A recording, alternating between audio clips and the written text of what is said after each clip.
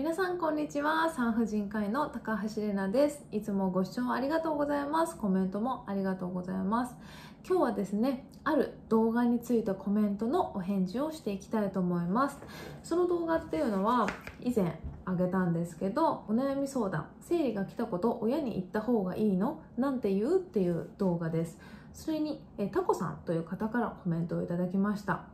今日生理来ました。かっこ6年生。小学校6年生ってことだと思います。寝ようと思ったらなんか出てる気がしてトイレに行ったら下着が血だらけになっていてびっくりしました。母に言おうと思いますが大体お父さんが近くにいて恥ずかしくて言いにくいしお母さんはすぐ何でもお父さんに言うからなかなか言い出せないんです。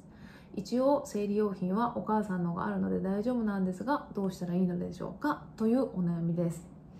いやタコさんすごいですね。まず小学6年生でちゃんと YouTube の動画に堂々とコメントをしてしかも文章もしっかり分かりやすくお母さんのことを母ってちゃんと言ってるってところが私はねすごく感心しました。素晴らしいと思います。この言語能力があればうまく伝えられることでしょう。まずですねこの元々のその生理が来たことを親に言った方がいいのっていう動画も上げたのでそれも一緒にご覧いただきたいんですけれどもここではま基本的に生理が来たことは言った方がいいよってことをこの動画でお伝えしました、まあ、理由はその生理が来たこと自体はすぐに急いで言う必要はないけどそのうち生理痛が来たりとか生理不順になった時とかにやっぱり親御さんに相談しないと一緒に受診してくれる人がいなかったりするので後々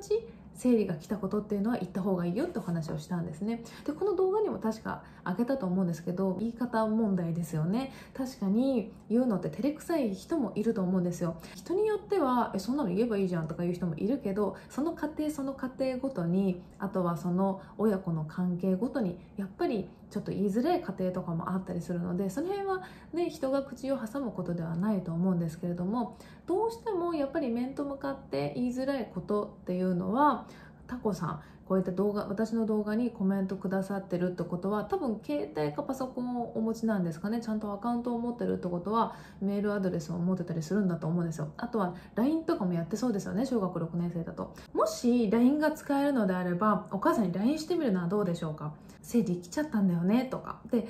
なかなか面と向かって話そうとするとこう自分の話したいことを忘れてしまったりとかこうしどろもどろになっちゃったりすることがあるので LINE だと文章を考える時間があるじゃないですか。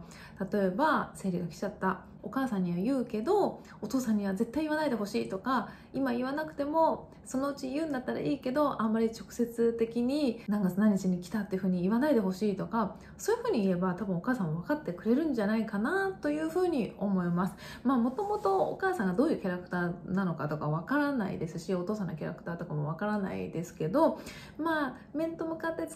えづらいことは LINE とかの方が伝えやすいのかなと思いますまず例えば家にいる時とかにお父さんお母さん揃っていてお母さんにいきなり LINE をしたら「あんた LINE どうしたの?」みたいな感じでお父さんの前で言われちゃうかもしれないのでまずは「ねえねえお母さんちょっと LINE 送ったから見て」みたいな感じでこっそり言ってみるのはどうでしょう？あとは手紙とかですかね。紙に手紙を書くのでもいいのかなと思います。あとはもしお母さんと2人きりになれることがあれば面と向かってお話ししてもいいとは思うんですけれども紙にいろいろ自分が書くことを書けるとまとまっていいんじゃないかなと思います、まあ、要はあのタコさんが一番恥ずかしいって思ってるのはお父さんに伝わることが恥ずかしいんですよね。なのでお父さんにはあんまりすぐ言わないでほしいっていうことを言ってもらえればいいんじゃないかなと思います、まあ、ただし、まあ、お父さんもね正直わかると思うんですよ。まああんまり女性の体って、まあ、その年代のお父さんとかだと分かんない人もいるかもしれないですけど生理があるってことぐらいはお父さんも知ってるはずです。で大体小6とか中1とかそのぐらいから女性は毎月生理があるんだなというのを知ってます。で保健体育でも習います。それにお母さんとお付き合いをしたりとかタコさんが生まれる前とかも生理があったりしますし今も多分お母さんが生理があるというのを知ってるので誰しもが女性であれば生理があるってことをお父さんも知ってるはずです。なので別に生理があること自体は恥ずかしいっていうふうに思わなくて全然大丈夫なんですね。そして、まあ、お父さん自身もね多分、まあ、健康的な体だったらそういう風になるんだろうなって思う人が多いのかなと思いますけど、まあ、お父さんのキャラクターはわからないので まあちょっと恥ずかしいっていう気持ちもわかるので、まあ、お母さんにはくれぐれもあんまりお父さんに言わないでほしいとか伝えるのがいいんじゃないかなと思いますでその日に伝わらなくてもお父さんってやっぱり中学生高校生娘が大きくなってきたらまあ生理ぐらいあるんだろうなって多分分かると思うのでお母さんお父さんが揃ってる家庭の方であればお母さんだけに伝えるのでも私はいいんじゃないかなというふうに思います。まあ、ただ前にコメントでくださった方はお母さんにも伝えるのが恥ずかしいっていう方だったのでお母さんには伝えられそうなのでタコさんの場合はすごくいいんじゃないかなと思いますので面と向かって伝えられない場合には LINE か手紙かしてもらえるといいんじゃないかなと思います。まあお母さんに伝えなくてもちょっとナプキン減ってるなとかちょっとゴミ箱からナプキン出てきたとかちょっと下着が汚れてるなとか結構気づくことも多いんじゃないかなと思います今生理ナプキンが足りてるのであれば無理にすぐ言う必要はないので時を見て言えるタイミングで言うのでもいいんじゃないかなと思います、まあ、きっとタコさんは生理が来たばっかりで慌てちゃってどうしようどうしようって思ってる段階だと思うのでそのうちまたちょっと時間が経ったら言えるかなっていう時が来ると思いますのでちょっと言える時を待ちましょう。今すぐに言わないと死んじゃうとかどうにかなっちゃうとか子宮卵巣がどうにかなっちゃうっていうわけではありませんので自分のいいタイミングで伝えられるといいかなと思います。